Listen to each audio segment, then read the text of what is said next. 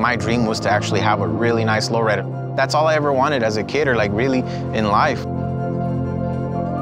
I scraped up every dollar I could to buy that first car. I was collecting fish at the time and I sold my pet fish in the aquariums and all that. Anything that I had that was mine, I started selling to make up that budget to buy that car.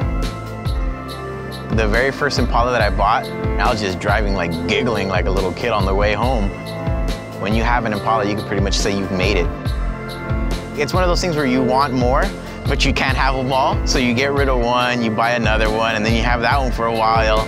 You sell that one, buy another one and another one, and then the whole point is to kind of get to one that you really, really like. And I eventually found that car.